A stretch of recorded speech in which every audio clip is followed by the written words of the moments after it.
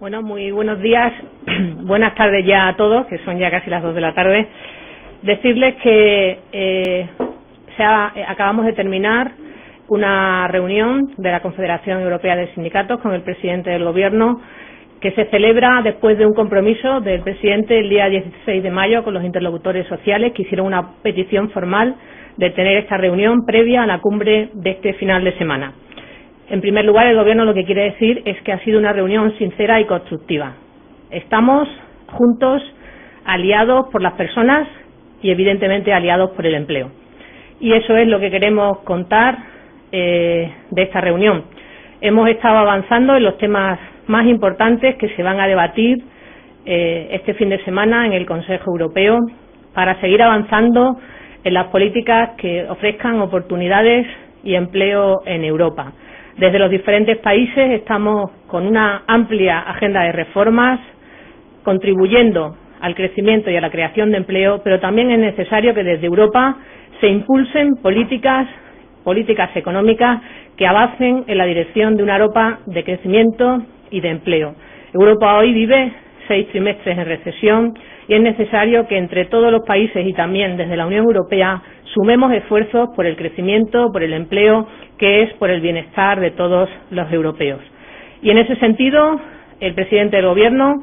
ha anunciado a los diferentes componentes de la CES que el Gobierno va a seguir dando la batalla durante toda esta semana para que la cumbre del fin de semana sea avanzar, actuar y dar pasos en esa dirección, en la dirección del crecimiento y del empleo. Fundamentalmente se van a tratar tres temas que son de muchísima importancia para España. Avanzar en la unión bancaria, que es permitir que nuestro país se pueda financiar a precios más razonables y nuestras pymes y el resto de las empresas se puedan financiar a precios más razonables en la Unión. Es también avanzar para que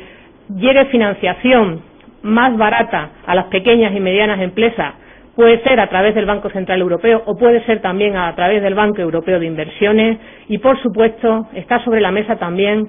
poner en valor el acuerdo al que llegó Europa en el Consejo anterior de la iniciativa juvenil europea para que cuanto antes esos 6.000 millones de euros lleguen como recursos a los diferentes Estados para poner en marcha todas las acciones a favor del empleo juvenil que es hoy la primera prioridad, es la gran prioridad de la agenda española y también de la agenda europea.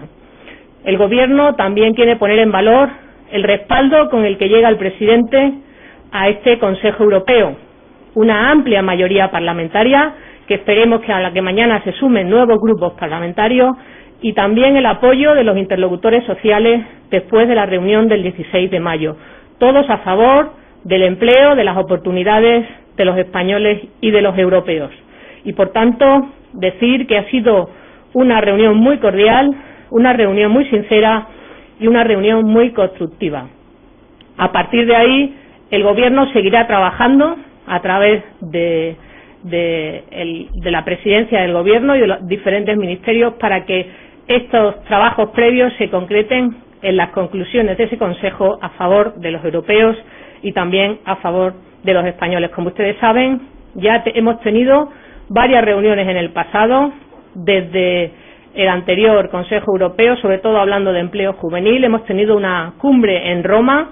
donde estuvimos el ministro de Economía y los ministros de Empleo de los cuatro principales países de la Unión. A eso le sucedió la reunión de Madrid de la semana pasada, que fue una reunión técnica que sirvió para seguir avanzando por el empleo joven y la financiación de las pymes. De igual manera, se han celebrado también la semana pasada el Consejo de Ministros de Empleo y el ECOFIN para ir concretando todas estas medidas que se terminarán aprobando en el Consejo de final de semana, que es el Consejo que tiene que ser del empleo y de las oportunidades para los europeos. España ha defendido desde el primer momento que se den mayores avances en la unión bancaria, que llegue financiación a través del Banco Europeo de Inversiones para que las pymes puedan seguir invirtiendo y creando riqueza y empleo en España. Se habla de un total de 100.000 millones de euros. Y luego están eh, las políticas por el empleo juvenil a través de la iniciativa juvenil europea que, como hemos defendido desde el primer momento, deben de llegar en los primeros años, en 2014 y en 2015, y deben de llegar los recursos lo antes posible. no como el modelo de gestión anterior del Fondo Social Europeo que anticipaban solo el 5% de los recursos. España sigue defendiendo que o bien llegue eh, los recursos directamente al principio en esos dos años o bien se permita que lo que cada gobierno nacional invierta por el empleo joven no, se tenga en cuenta a la hora de contabilizar y de computar los procedimientos de déficit excesivo. Esa es la propuesta de España, así se lo ha explicado el presidente a los sindicatos, a la FES, y tenemos bastantes coincidencias en que Europa debe de seguir con acciones actuando en el avance para que los ciudadanos europeos sigan confiando en esa Europa de la libertad y de las oportunidades que todos los ciudadanos españoles y europeos queremos.